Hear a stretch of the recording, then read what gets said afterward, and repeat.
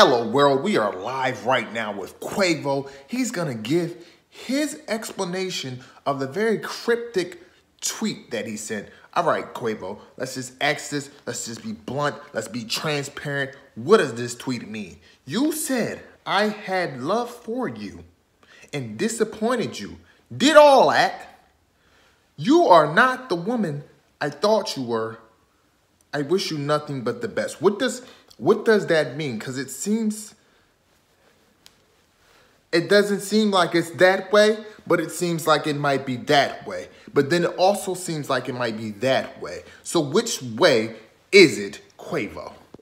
I mean, it's real simple. At the end of the day, Saweetie is bad and bougie, you know what I'm saying? And I'm the type of nigga that walk her like I talk her, you feel me? But all these people on Twitter and shit, they want to hit on me because I'm handsome and wealthy. Like, I don't get it.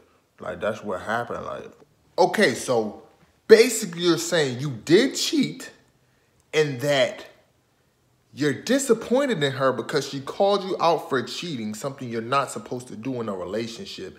And therefore, because she called you out and she didn't let you cheat, like most women do, she's not the woman you thought she was.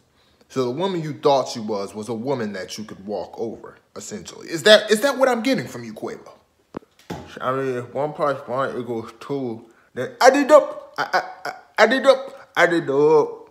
Then that's what I'm saying. Like, you know the game is like that. Like, niggas cheat. Like, that's that's what we do. Like, but if I'm buying you a Birkin and I'm buying you properties and shit like that, then you supposed to be okay with that.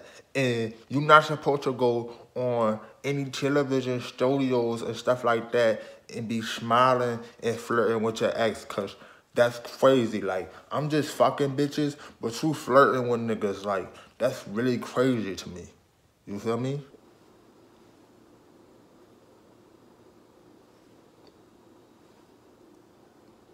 Yeah, I done took my glasses off and I'm still not seeing your point, Quavo. Uh, you're clearly a delusional young man. Um, and I guess like Saweetie said to you, take care. This interview is over.